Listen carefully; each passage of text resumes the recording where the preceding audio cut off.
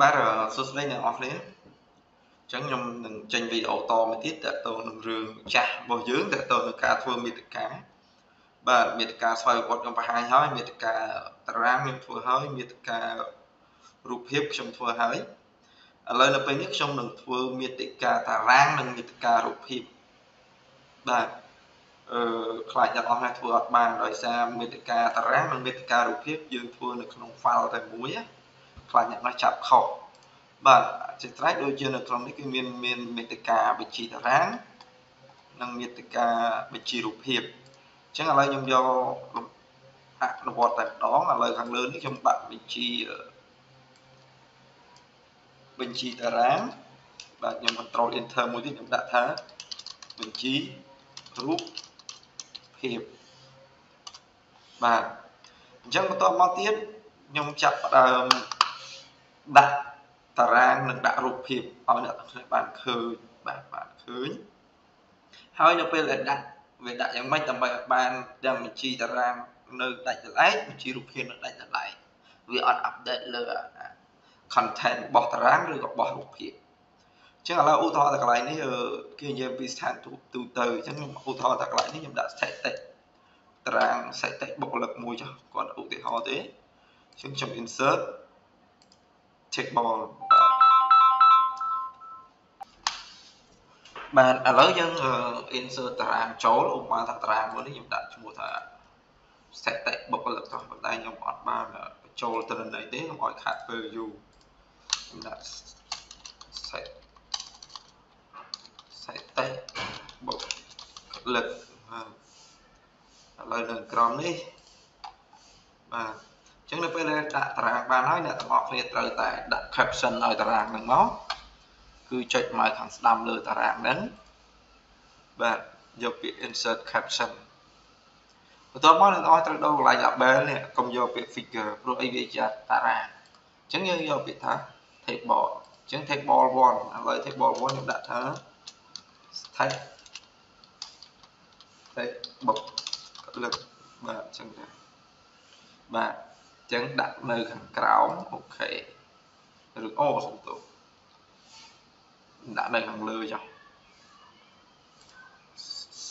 បាទស្ថិតេបុកលឹក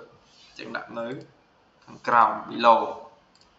បាទអញ្ចឹងយើងអាចសេរីដាក់ពណ៌អីតាមការចង់អាចទាញវាដាក់នៅចំកដាលអញ្ចឹងក៏បាន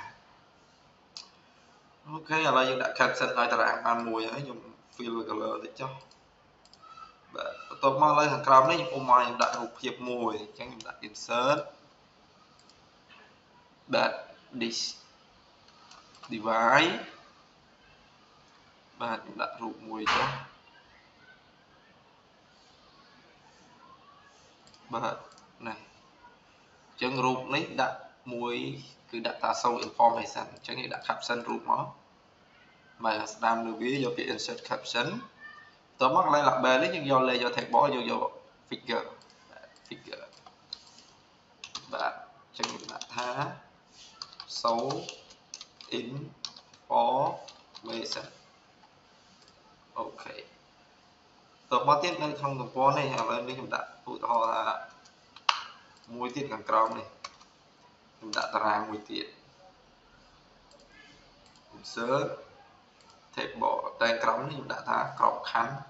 មិនអចិន្ត្រៃយ៍តារាងណាបាទអូខេបាទខ្ញុំគាត់ដាក់យកឲ្យបានទេអ្នកអស់អាចធ្វើឲ្យស្អាតអញ្ចឹងយើងដាក់ caption តារាងមកយកមកចុចមកស្ដាប់លើតារាង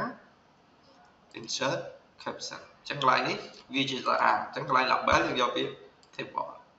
ញ្ចឹងតារាងទី2នេះយើងដាក់ថាអឺ បុគ្គលិកក្របខ័ណ្ឌបុគ្គលិកមិនមែនក្របខ័ណ្ឌអូខេបាទនេះមិនអាចចន្ទ្រៃហ្នឹងណាបាទអញ្ចឹងយើងអាចទាញមកអូខេចឹងនៅទំព័រចុងផុតនេះខ្ញុំដាក់រូបមួយទៀតចាស់ឲ្យបានច្រើនតិច insert picture រូបនេះបាទរូបកម្មសិក្សាអញ្ចឹងខ្ញុំដាក់នងគ្រប់រូបបន្តិចទៅកុំឲ្យធំពេកបាទអញ្ចឹង insert caption ឲ្យវាអញ្ចឹងវាជារូបភាពអញ្ចឹងកន្លែងនេះយកពាក្យថា figure បាទអញ្ចឹងដាក់ថាកម្មកម្មសិក្សាអូខេអញ្ចឹង សេរីពុំសសេរីអេស្អាតបាទអត់អីអូខេបាទឥឡូវខ្ញុំឧទាហរណ៍តារា2រូប2អញ្ចឹងឥឡូវយើងទៅដាក់មាតិកាអញ្ចឹងឥឡូវខ្ញុំដាក់មាតិកាតារាមុនអញ្ចឹងចូល take reference ដូចគ្នា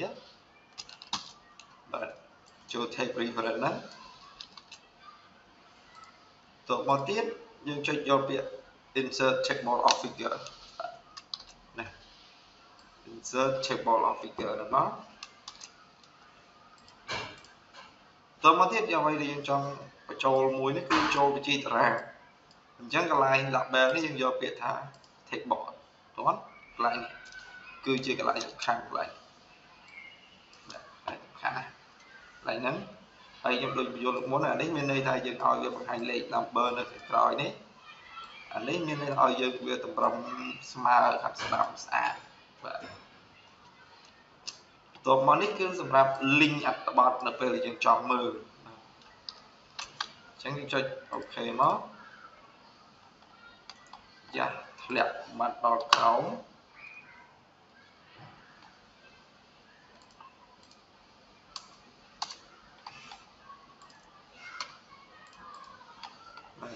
សូមចូលឡើងវិញដោយសារមិញរុះទៅក្រោមយក table អូខេ click tick tick tick ទាំងអស់ អូលុបអត់អស់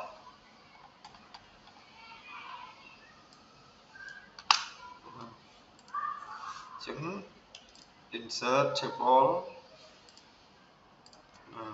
អូខេ